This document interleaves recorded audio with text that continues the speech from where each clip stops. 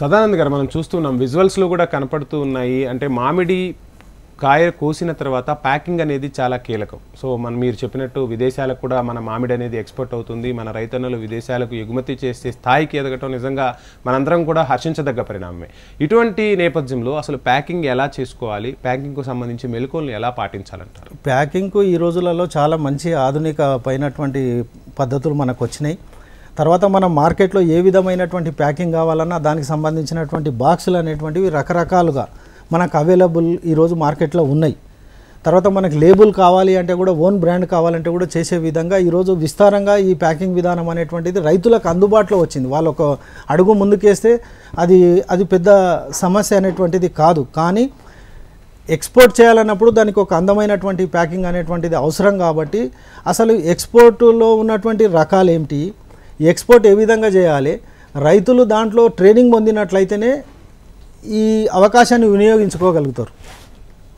కాబట్టి దాన్ని మనము ముందుగా రైతులకు ఈ ఎక్స్పోర్ట్ దానిపైన పూర్తిగా మనము వారి వారికి ఇవ్వగలిగితే తప్పకుండా మనకు మంచి అవకాశం ఉంటుంది.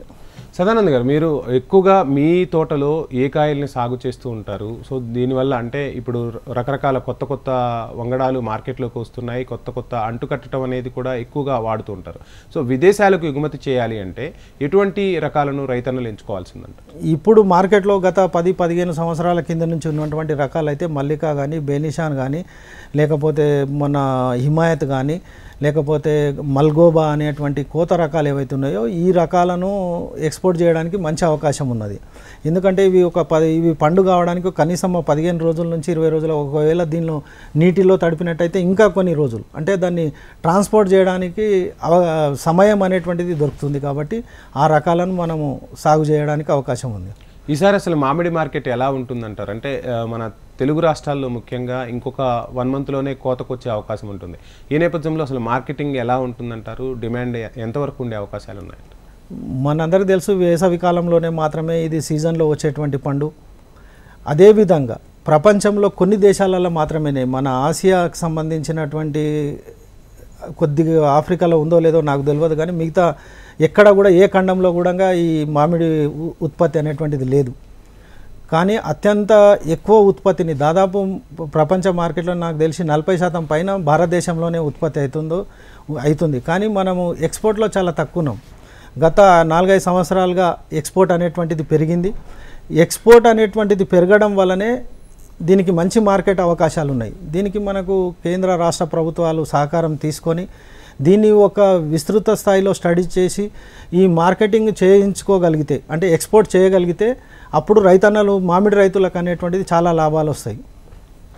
ప్రకృతి సిద్ధంగా మామిడి పండును ఎలా మాగబెట్టుకోవాలంటారు? అంటే గతంలో చూసేవాళ్ళం వరిగడ్డిలో మాగబెట్టడం ఇలాంటివి చేసేవాళ్ళు. ఇప్పుడు ఇంకా ప్రకృతి సిద్ధంగా ఎలాంటి మెలకువలను పాటించితే ఇప్పుడు ఇప్పుడు మొట్ట మొట్టమొదట మనం గ్రహించాల్సినటువంటి అంశం ఏంటంటే మామిడి కోతకు రావడం అనేటువంటిది కాయ లోపల ఎల్లో కలర్గా మారుతుంది. లైట్గా ఎల్లోయిష్గా మారుతుంది. అదే దానికి కోత సమయం. అంటే అది ఆటోమేటిక్గా పండు కావడానికి అవకాశం ఉన్నటువంటి సమయం. లేదా పైనుంచి చూసినప్పుడు ఏమవుతుందంటే ఒక మామిడి కాయను మనం చేత్తో పట్టుకున్నప్పుడు మచ్చలాగా ఏర్పడుతుంది దానిపైన తెల్లని పొర ఒకటి ఏర్పడుతుంది. ఆ తెల్ల పొరని పొర ఏర్పడ్డప్పుడు అది అప్పుడు కోతకు సిద్ధంగా ఉన్నది లేదా పండు సమయం వచ్చింది అనేటువంటిది మనకు సహజంగా గుర్తింపు జరుగుతుంది. మీరు అన్నట్టు వరి గడ్డిలో కానీ కోత గడ్డిలో కానీ వేయడంతో పాటు మన ప్రకృతిలో ఉన్నటువంటి కొన్ని రకాలైనటువంటి ఆకులు ఉన్నాయి మా ప్రాంతంలో అయితే రేలాక్ అనేటువంటిది ఒక ఆకు ఉంటుంది. అది వేయడం ద్వారా అంటే ఈ మాగబెట్టినటువంటి గడ్డితో పాటు ఆకులను కూడా కింద వరవడం కానీ పైన దానిపైన కప్పడం వల్ల కొంచెం టేస్ట్ ఎక్కువ వస్తుంది తర్వాత తొందరగా కూడా మాగడానికి అవకాశం ఉంటుంది. మామూలుగా కెమికల్ పద్ధతిలో కార్బెట్ ఏదో వేస్తున్నారు. అది ఒక వేడిని సృష్టించడం లేదా ఆ కెమికల్ వల్ల జరుగుతుంది లేదంటే దాంట్లో డిప్ చేసి పక్కన పెట్టేస్తే రెండు రోజులలో అవుతుంది. కానీ ఈ ప్రకృతి పద్ధతిలో లేదా ఆవు పేడను కూడా ఒక గోనె సంచి కింద పెట్టి పైన పండ్లన్నీ కాయలన్నీ పేర్చేసి తర్వాత మళ్ళీ గోనె సంచి పెట్టి ఆకులు వేయడం ఇట్లా కొన్ని పద్ధతుల ద్వారా మనం చేయొచ్చు.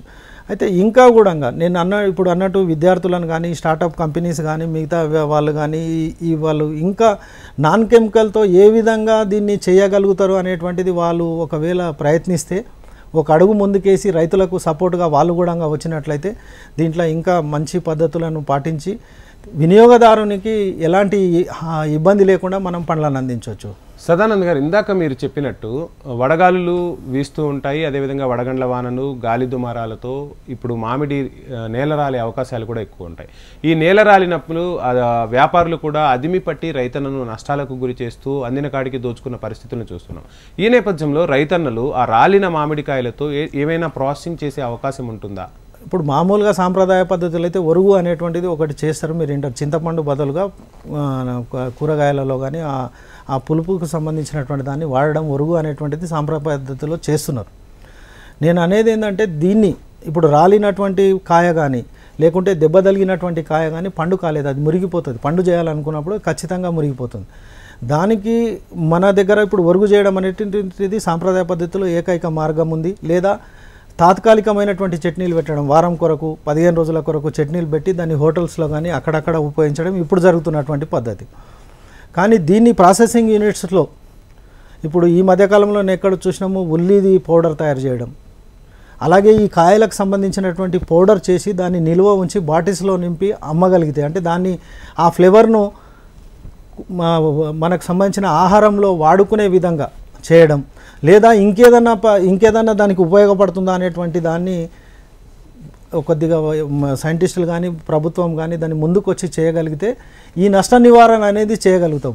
ఏమవుతుందంటే రాలినప్పుడు విస్తారంగా అన్ని ప్రాంతాల్లో రాలిపోతుంటుంది. ఎక్కువ ఎక్కడెక్కడైతే గాల్లో ఒకేసారి మార్కెట్లోకి వచ్చేసరికి అది అసలు ట్రాన్స్పోర్ట్ పైసలు కూడా వచ్చే విధంగా ఉండదు. ఎక్కడికక్కడ ప్రాసెసింగ్ యూనిట్స్ నెలకొల్పి కాయలకు సంబంధించినటువంటిది దాంతో ఇప్పుడు పౌడర్ తయారు చేసి పౌడర్తో మళ్ళీ లిక్విడ్ చేసుకోవడం లేదంటే జ్యూస్ లాగా తయారు చేసుకోవడం ఈ విధంగా దాన్ని వాడగలిగితే ఖచ్చితంగా దానికి వచ్చే నష్టాన్ని నివారించి మనకు సీజన్ లేనప్పుడు కూడా దాన్ని వాడుకోవడానికి అవకాశం ఉంటుంది. ఆ పౌడర్ను కానీ లేకపోతే ఆ ఒరుగు కానీ ఏదైనా ఒక దానిని మనము తయారు చేసే విధంగా ప్రభుత్వం ప్రోత్సహించాలి కానీ ఇక్కడ ప్రకృతి వ్యవసాయంలో జీవామృతం అనేటువంటిది రెగ్యులర్గా మనం ఒక ప్రతి నెలకు ఒకసారి స్ప్రే చేయడం తర్వాత ఫిబ్రవరి మార్చి ఏప్రిల్లో ఎప్పుడైతే నీళ్ళు ఇస్తామో నీళ్ళు అడుగున జీవామృతం ఇవ్వడం జీవామృతం తయారు చేసుకునే విధానం మనకు అన్ని యూట్యూబ్ ఛానల్స్లో కానీ అంతటా అవైలబుల్గా ఉంది. అది తయారు చేసుకొని స్ప్రే చేయడం ఒక పద్ధతి.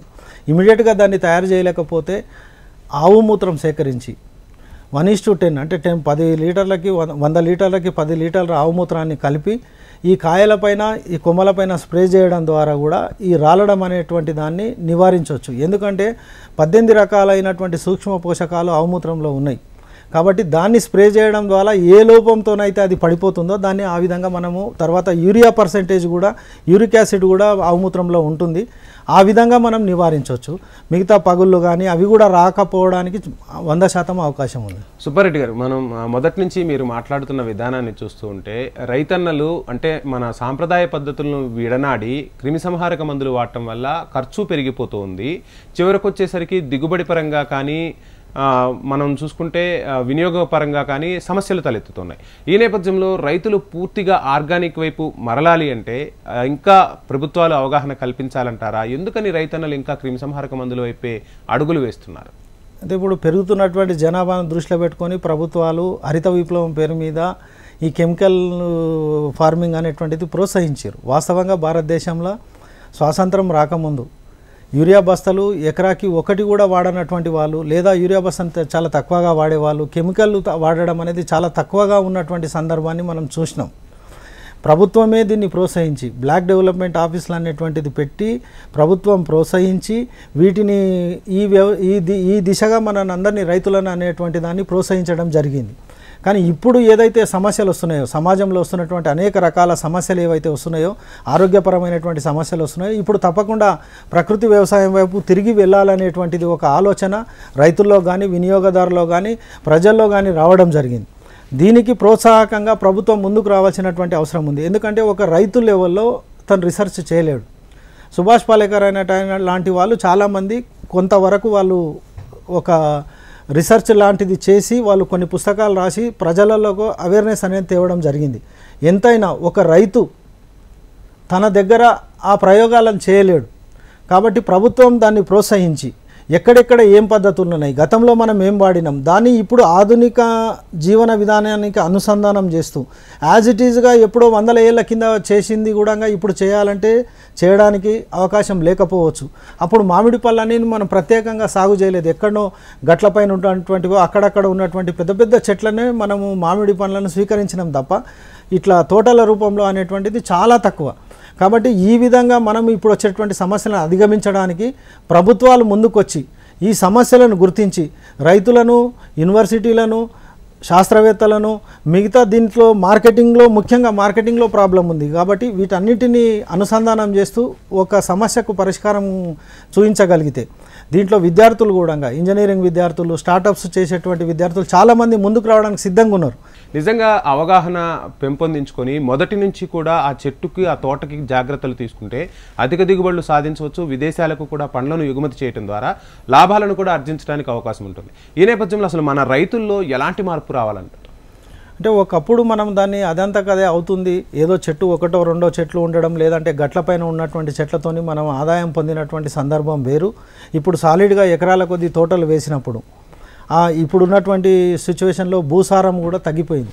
కాబట్టి భూసారం పెంచడానికి మనము దాని కొన్ని పద్ధతులను పాటించినట్లయితే లేదా అంతర్ అంతర్సాగును కూడా అంటే తోట వేసినటువంటి తో తో ఫస్ట్లో కానీ వేరే వేరే రకాల పంటల పంటలను పండించుకోవటం ర- తర్వాత ఒక టెన్ ఇయర్స్ తర్వాత ఇక్కడ న్యాచురల్గా ఏదైనా డెవలప్ కావాలంటే జనుము జీలుగు అలాంటి అంతర్ పంటలుగా వేయడం దాన్ని కలియ దున్నడం లేదా నవధాన్యాలను కూడా అంతర్ పంటగా వర్షాకాలంలో వేయడం వాటిని మళ్ళీ కలియ దున్నడం ద్వారా భూమి యొక్క సారాన్ని పెంచి ఆ సారాన్ని పెంచడం ద్వారా మళ్ళీ అధిక దిగుబడిని పొందడానికి అవకాశం ఉన్నది కాబట్టి రైతులు అప్పట్లాగా ఏదో వదిలేసినామో దానంతకు అదే కావాలంటే కా- అయ్యే పరిస్థితి లేదు కాబట్టి. దాని మీద కొద్దిగా శ్రద్ధ తీసుకోవాల్సినటువంటి అవసరం ఉంది